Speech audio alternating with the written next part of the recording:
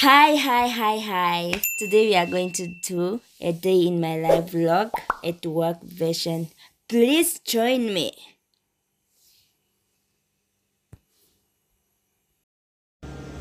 Hi everyone, today I'm filming from work. So if you are new, please don't forget to subscribe and join me. Tell me also what do you think about my hairstyle? Is my natural hair? And also how do I look at work? How is my outfit? So please, please don't forget to subscribe. Let's reach 100 subscribers one step at a time. And don't forget to click the bell button so you will be notified whenever I post a new video. Thank you. Please join me as I'm touring the lab. So this is the place where I live and visit home sometimes. So thank you so much for joining the family. Welcome to That Girl Vapa channel. If you are new, please, please, please don't forget to subscribe. And so this is a life of a medical laboratory scientist. I'm a full-time medical laboratory scientist and a part-time YouTuber. And I'm so grateful I have started my YouTube channel because most of the time I just go to work and go back home, which is quite boring. I really don't do much when I knock off. So I'm great now. I have a part time job. I'll be filming videos. So please subscribe for more videos.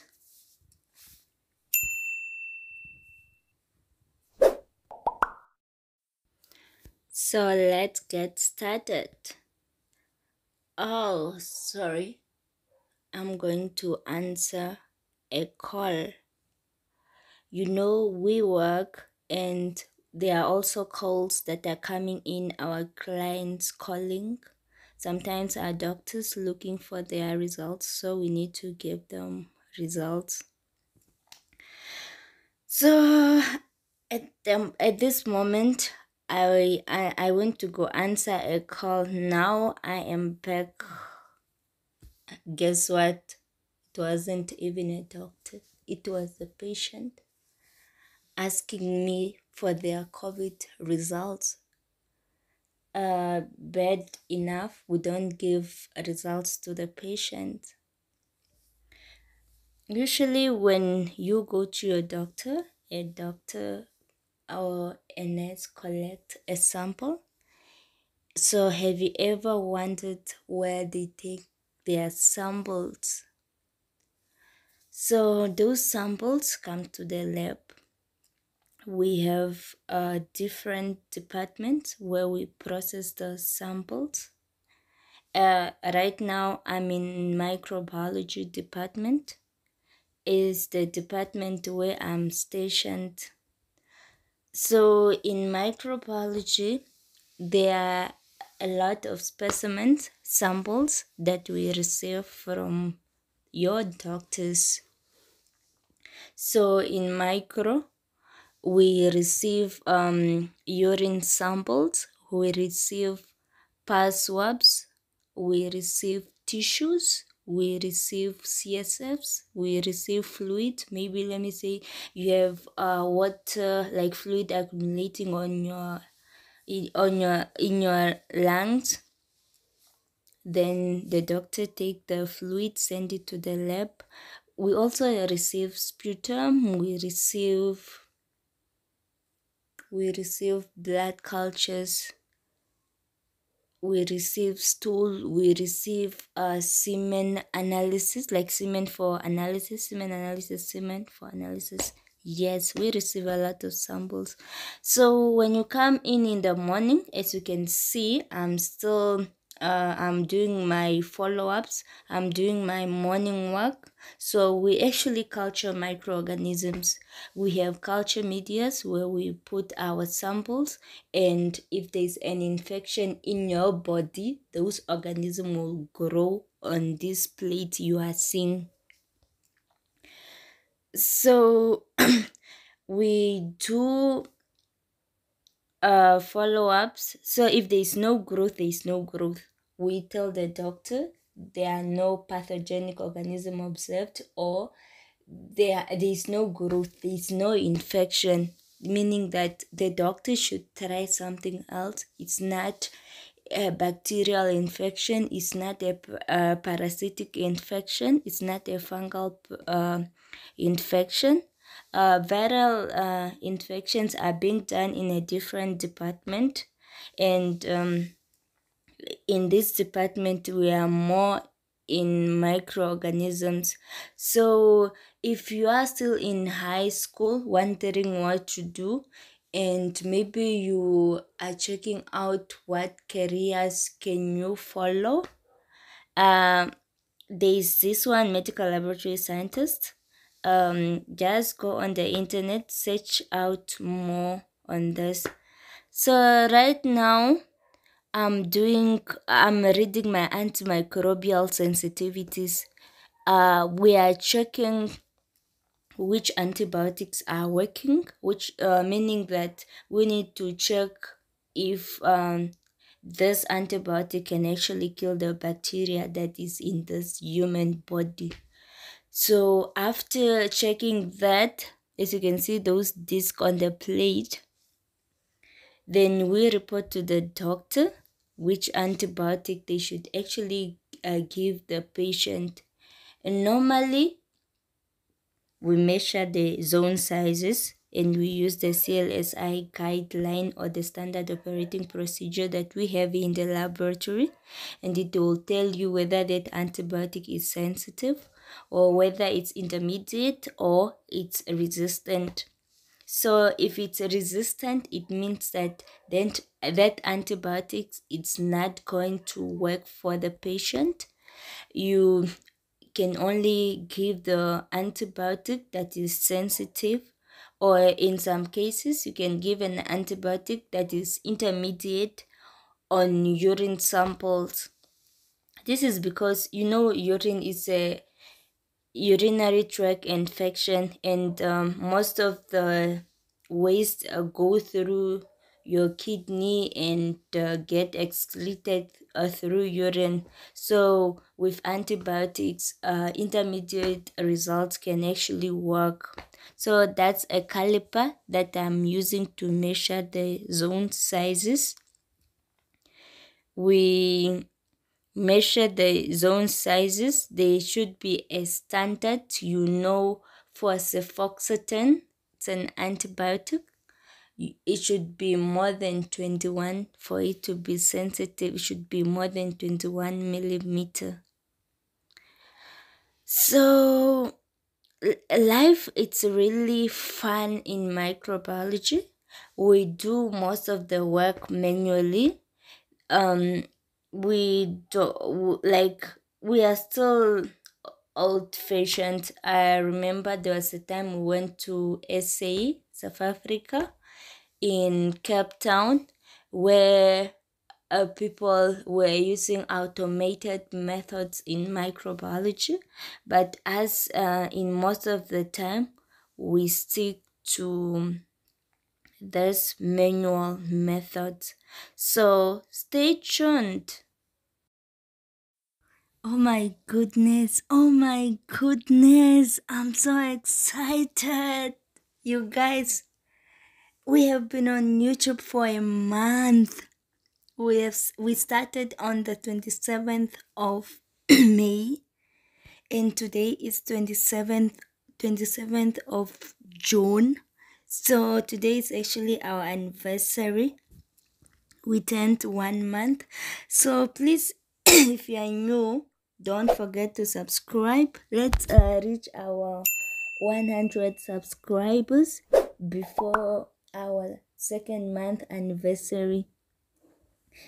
So I'm so so so excited. Uh, you can if you have been following me uh, watching my videos. Uh, leave a comment below. Let's hear from you. Uh, what do you want to hear or what do you want to watch? Uh, let me know so I can create the content that you want or something. What do you want to know? What do you want to know? Let me know. Uh, leave a comment below. Let's hear. So right now I'm just entering the results, patient results in the system. It's called um, our laboratory information system. That uh, system is so so so confidential. Everyone that use it have a username and a password.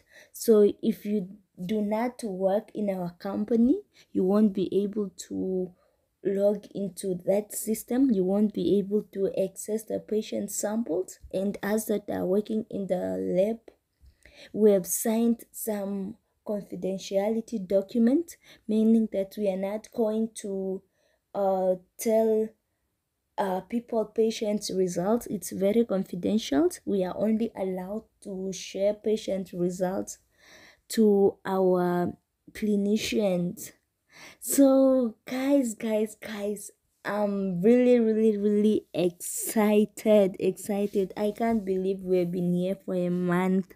That's a milestone on its own. It's a journey and we are still going strong. I know we have uploaded more than five videos in a month so it's really an achievement. It means that we were able to upload at least one video in a week uh, whereby you know uh, some people if you have just started uh, your channel if you have just started your journey i was uh, checking on some people's uh, channels. You can tell in one in their first year some people just uploaded two videos but you guys we have made this and with a lot of views you guys are watching the videos. Thank you thank you thank you so much. Thank you thank you. I'm super super super excited. So let's continue uh let's continue with the lab so after entering results in the system, you gave you give the result to someone to verify the result. Uh, it's that person is uh, usually a pathologist, uh, making sure that what was done in the lab is right. Like they are just verifying results and give the final report to the doctor, and then after that you go do your follow ups you go to your unfinished work to finish up like if you what you can see in the video now in the in the video i'm doing my follow-ups. I'm putting up VITEK VITEK is a system that identify organisms and give us uh, antimicrobial sensitivities. So it's actually an automated method. Um, we have some other methods I will mm, I will put up the picture there of some APIs that we have done before in the laboratory.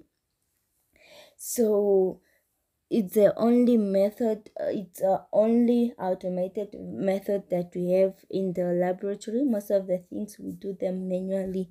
Uh, that's a computer that is linked to VITEK. You can check whether your samples that you have put in did they run right are the results ready. Is everything fine or you print out some of the documents? And with VITEK we we have our daily maintenance. We run controls making sure that our system is fit to run patient samples. And if your controls uh, pass it means that the system is okay and you can proceed to process your patient samples.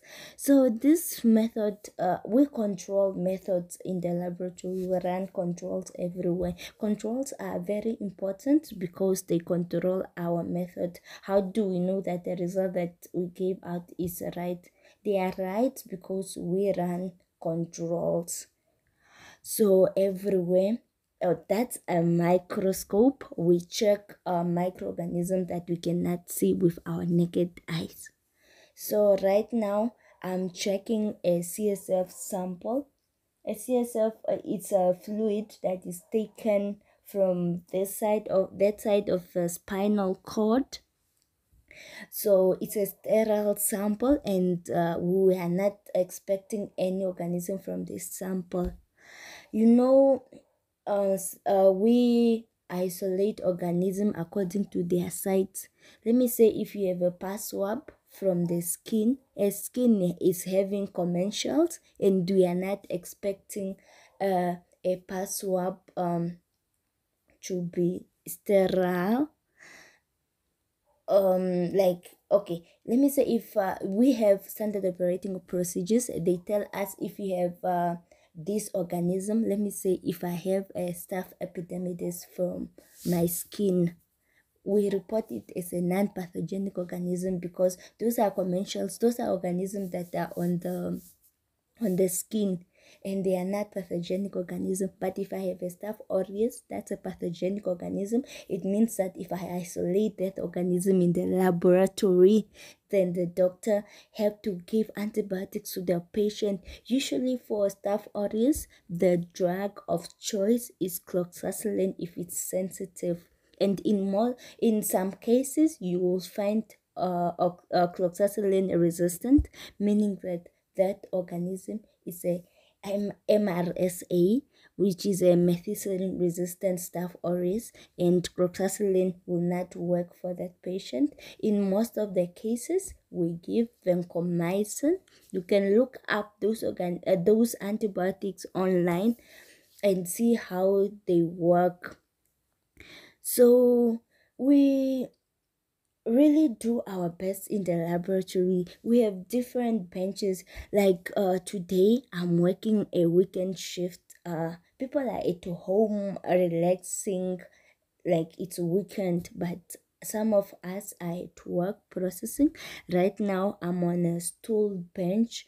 You know at every bench you use different media because um different organism uh, grow on different media. They need um, specific food. We make sure that the culture plates that we have can support the pathogenic organism or the or the organism that you are looking for from that uh, specific sample. So a medical laboratory science it's really a broad field. If i have to talk about different departments like what they really do in each department we are not going to finish. So guys guys guys guys please please don't forget to subscribe. It um and uh, thank you for those that have subscribed already. You guys are the one that keep me going. You are the one that motivating me to do better please also leave a comment. Uh tell me where i should improve what content should i create. I'm here for you guys. I'll make time for this. Remember i told you before that i only used to go to work go home and go back to work i repeat. Right now i have youtube as my part-time job so i really need to be creating um content and one one of the reasons also why i cre- why i joined youtube why i become a namibian youtuber why i become a youtuber is because i am a shy person. I'm not really open to talk. I remembered um, in 2019 i created i made a video and I never, never, never, never uploaded it on YouTube. I was very shy and I felt like maybe Hi, it's everyone. not good enough for Um, YouTube. So if you are out there and you want to create your Um, YouTube channel, please create start the time to start is now. Don't be like me who have been shy. If you want me to upload that video on my YouTube, please let me know in the comment area. And um, thank you thank you. Today is our anniversary one month anniversary. And if you have come this far if you you are still watching this video write in the comment area that happy one happy one month anniversary so thank you thank you for supporting. Please don't forget to subscribe if you didn't subscribe yet. And um see you in our next video. Thank you thank you so much. We really appreciate that